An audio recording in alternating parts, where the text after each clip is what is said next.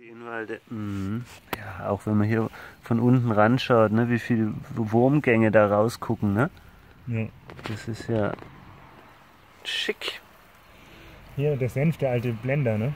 Was er doch alles schafft. Also Hier war ja nur Senf, oder was? Also Salat halt. Achso, ja. Aber das sind ja alles irgendwelche ja. Senfarten. Ja gut. Und das ist eigentlich eine Mischkultur, wenn man Ja, sich das genau. hier anschaut. Ist ja auch noch Wicke drin und Vogelmiere.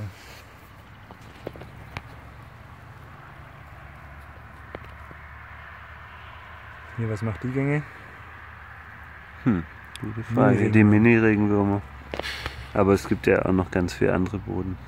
Keine Ahnung, wie machen das die, die, die kleinen Regenwurmbabys? Bewegen sie sich in den Gängen der Mamas oder fallen die da einfach runter? Naja, von so irgendwas müssen die Fragen. ja auch fressen. Die Ja. werden ja, äh, sind ja Eier, ne? Die werden ja nicht ähm, Ja. gesäugt. Aber die Wicke, da hat er auf jeden Fall Knöllchen. Ja, und die sind auch, also der habe ich jetzt nicht gesehen, aber ich, die sind, wenn die so sind, oft schon rot, die Knöllchen und aktiv. Mhm. Und, klar, davon, davon ernähre ich jetzt keine Paprika, aber, ähm, aber es lebt. Ja, hier. Wenn man jetzt mal reinguckt.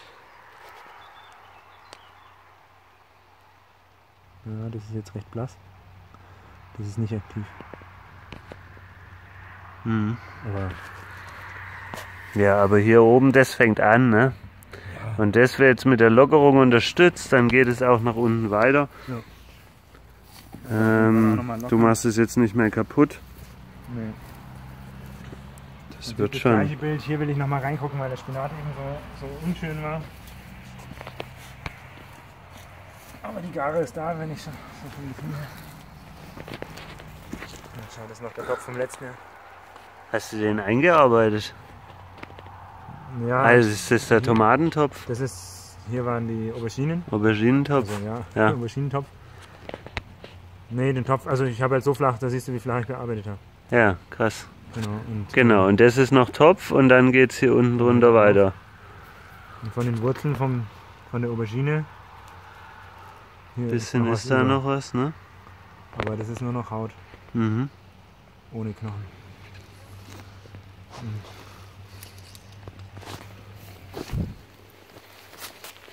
Ja, gefällt mir auf jeden Fall deutlich besser als das andere Bild. Ähm, Ich überlege jetzt gerade, weil ich es da mache, weil die letzten Meter ja noch Zwiebeln stehen, ob ich dann da auch Tiefen mache. Ich finde, für das, für das Broadforken braucht man immer noch einen anständigen deutschen Begriff. Ne?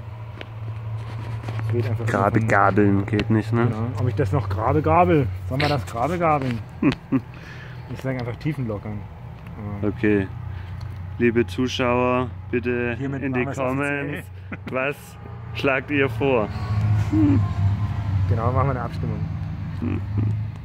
Also auf jeden Fall noch bearbeiten. Ja. Und ähm,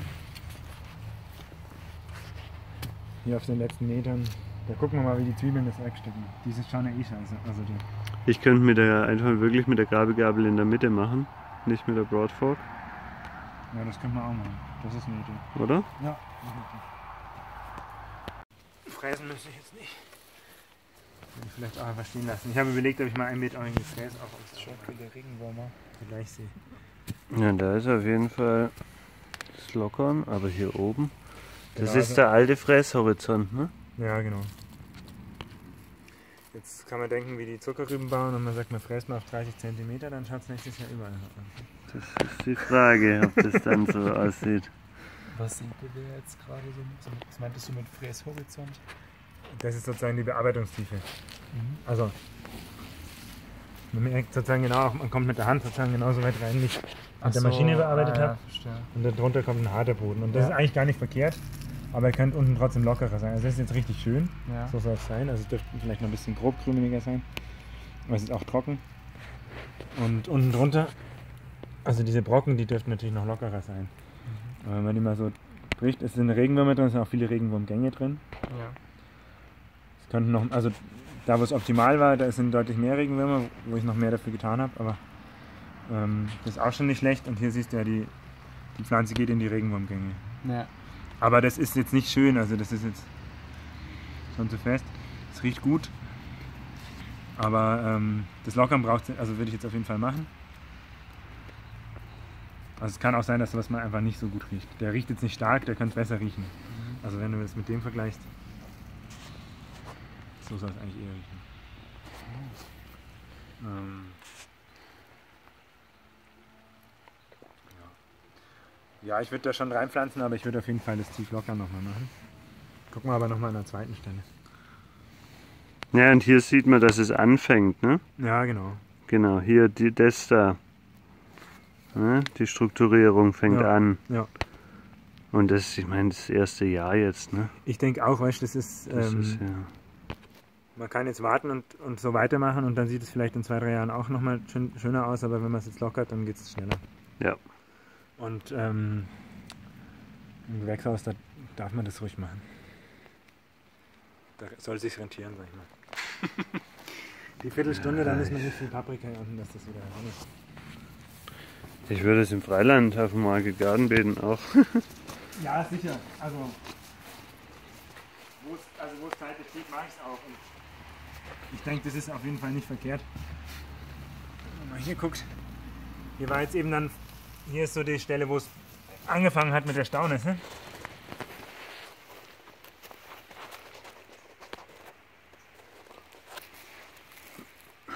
Hier schon die Verfärbungen. Das riecht auch nicht so gut. Mhm. Aber hier, das ist, das ist eingearbeitet, ne? Ja. Das ist jetzt nicht, nicht mechanisch darunter gekommen, Nee, das sondern ist das biologisch ist darunter biologisch darunter gekommen. auch und so. Ja. Und es ist auch schön durchwurzelt immer noch, gell? Ja. Also, ich bin erstaunt, wie viel Wurzeln da Na, sind. hier ist auch Regenbogenlosung. Ja, das ist So weit wieder- unten, da ist einer, genau. Also es ist auf jeden Fall auf einem guten Weg, aber es sieht, merkst du was von der Feuchtigkeit auch, ne? Wahnsinn. Ja. Hier ist ja noch richtig feucht, ne? Mhm. Hier können wir ja echt Da noch. sitzt auch eine Schnecke unten drin, da sieht man mal einen im Versteck. Oh. Mhm. Und hier ist die. Sch ja, gut, das ist natürlich auch die Feuchtigkeit. Aber hier sieht es oben auch.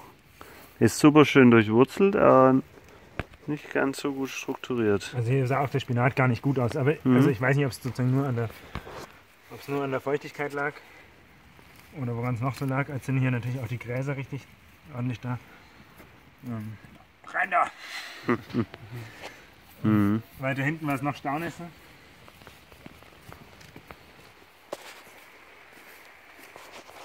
Hier habe ich halt schon gelockert auch. Also jetzt, ich weiß nicht mehr genau bis wohin, aber hier ist auf jeden Fall schon gelockert. Vor zwei Wochen, glaube ich. Ich habe jetzt dann erst den Spaten gekriegt. Krass, der Wurm ist ja dunkel. Ne? Da ist noch einer. Ja, Würmchen hast du schon ganz schön. wieder. Ja. Das ist, könnte, ja, Feldsalat, das könnte auch einfach vom, vom Feldsalatsubstrat oder so, ähm, sein, weil echt schwärzer ist der Kompost. Also, ich, wer weiß, gell. Noch der Spinattopf.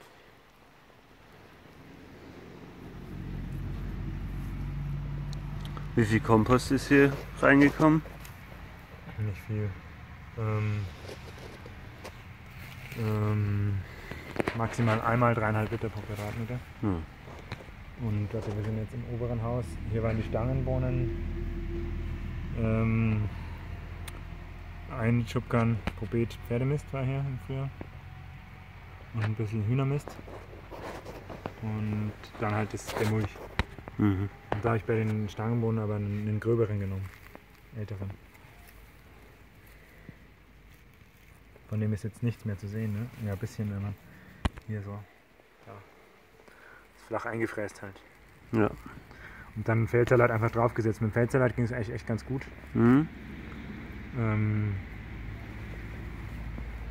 Ja, wenn er nicht umkippt. nee, also ich meine, der ist natürlich schon ein bisschen rein, aber ich meine, Ja, der Mulch war nicht, das, das Mulch war kein Problem. ja. Hier ist einer, da ist einer, das sind jetzt natürlich junge, gell? Die sind jetzt noch nicht besonders alt. Aber das ist auf jeden Fall ja ein Lumbricus, gell? Und das wahrscheinlich auch, oder? Gibt es da Unterschiede bei den Regenwürmern? Oder ist das? Ja, da gibt es einen tiefgrabende und flachgrabende, der kackt jetzt, schau mal, Angst hat. Ähm, Da gibt's jetzt, also der, der Lumbricus ist der, der tief gräbt, der gräbt also bis zu zwei Meter oder noch weiter, weiß ich nicht genau, rein und das ist sozusagen der, der große Tauwurm heißt der. Und dann gibt es die anderen, die graben eher vertikal und sind, also ähm, ich will eigentlich gerne den Lumbricus vor allem haben, weil der richtig nach unten rein arbeitet. Und richtig, also dem, dem, seine, dem seine Röhren sind auch sehr stabil, dann auch in, was weiß ich, 70, 60, 70 cm Tiefe. Macht er schön stabile Röhren, die halt natürlich für eine Durchlüftung sorgen, die für eine Drainage sorgen, die für, die für, für Autobahn für die Pflanzenwurzeln, sagt glaube ich der Näser oder wer das immer sagt. Ähm, Hier sieht man das ganz schön. ja, genau, man sieht es immer wieder. Also hier siehst du ja auch, da war der, der Regenwurmgang und da sind überall die Wurzeln drin. Und der kleidet die auch so aus mit so einem Schleim, wo deutlich, also mehr, mehrfaches an Nährstoffen drin ist. Ähm, hier, das war auch der Regenwurm. Und wenn, ich mache halt sehr, sehr wenig Bodenbearbeitung und auch keine tiefe Bodenbearbeitung, wenn dann so wie du es jetzt gerade machst, sozusagen, dass nichts nach unten kommt. Und wenn ich trotzdem will, dass sozusagen nicht nur oberflächlich sich ein bisschen was Organisches ansammelt, sondern auch unten was passiert, dann muss das unter anderem halt der Regenwurm für mich machen. Also ähm, auch ein Haufen. Andere Viecher beteiligt, aber